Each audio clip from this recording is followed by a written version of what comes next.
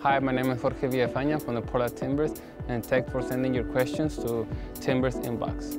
So the first question is from Sean Spencer. What's your favorite thing about Portland and that keeps it weird?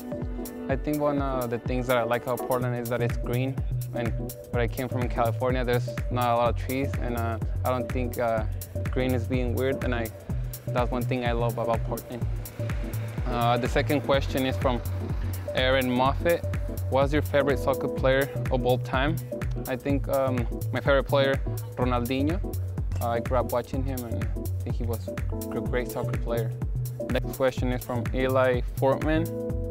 Who's who's your funniest teammate? Um, I think there's there's a lot of them on them, but uh, I will say Maxi and Rodney, they're pretty funny. The next question is from Emon Walsh. Uh, what's your favorite song right now? Will be the cheerleader song. I don't know who sings it. Uh, Emmy, Omi, something like that. That's a good song right now. Uh, the next question is from Brian Cheney. Have you ever played as yourself in FIFA? Uh, I have. I have played as myself in FIFA. Once in a while I'll do. The next question is from Amy Wasco. My 13-year-old soccer daughter wants you to describe Portland in three words. Beautiful city, Portland.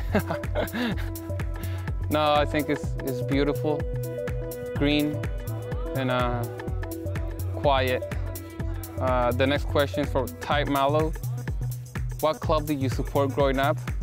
Uh, growing up, I supported uh, the club from Mexico called Pumas de la UNAM. The next question is from Megan Howard. What's your favorite place to eat in Portland?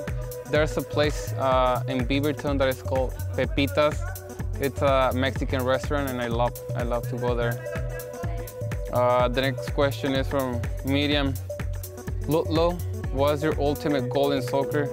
Uh, I think uh, the ultimate goal is to have a long career, successful career, and uh, win uh, championships.